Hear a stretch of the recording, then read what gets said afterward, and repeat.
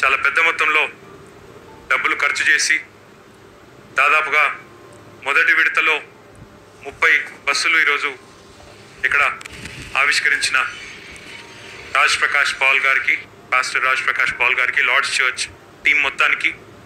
అదే రకంగా వారికి సహకరించిన మెడికల్ అసిస్టెన్స్ కానీ మెడికల్ ఇన్ఫ్రాస్ట్రక్చర్ కానీ మొత్తం ప్రొవైడ్ చేసిన వెరా హె వెరా హెల్త్ కేర్ సర్వీసెస్ వారికి.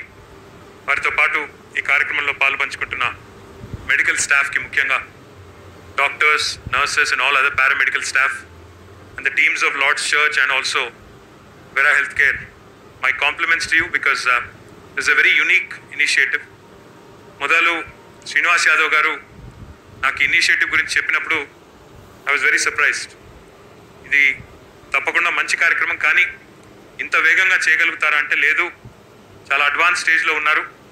మొదటి దశలో ఒక ముప్పై బస్సులు ముప్పై రెండు బస్సులు ఇచ్చి రెండవ దశలో మరొక ముప్పై మూడు బస్సులు కూడా ప్లాన్ చేస్తున్నారు. తద్వారా తెలంగాణలోని ముప్పై మూడు జిల్లాలకి ఒక్కో జిల్లాకి అవసరమైతే రెండు బస్సులు చొప్పున మీరన్నట్టు మారుమూల ప్రాంతాలు ఆదిలాబాద్ కావచ్చు కొత్తగూడెం కావచ్చు ఆసిఫాబాద్ కుమరం భీం కావచ్చు ఇట్లాంటి సుదూరంగా ఉన్న ప్రాంతాలకు కూడా ఒక మొబైల్ మెడికల్ యూనిట్ని పంపించడం ద్వారా ఒక్కో బస్సులో ఎనిమిది ఐసీయూ బెడ్స్ ఒక డాక్టర్ ఇద్దరు నర్సుల్ని కూడా పెట్టి వారికి కావాల్సిన ఆక్సిజన్ కానీ ఆక్సిజన్ కాన్సన్ట్రేటర్లు కానీ అదే రకంగా అవసరమైతే ఒక ఇన్వేజివ్ వెంటిలేటర్ని కూడా పెట్టి అన్ని రకాలుగా వారికి సౌ- కావాల్సిన సౌకర్యాలు ఈ కరోనా మహమ్మారి ఏదైతే మనని ఇబ్బంది పెడతా ఉందో దాన్ని ఎదుర్కోవడానికి ఈ రకంగా మేము సహకరిస్తామంటే వారు ముందుకొచ్చారు.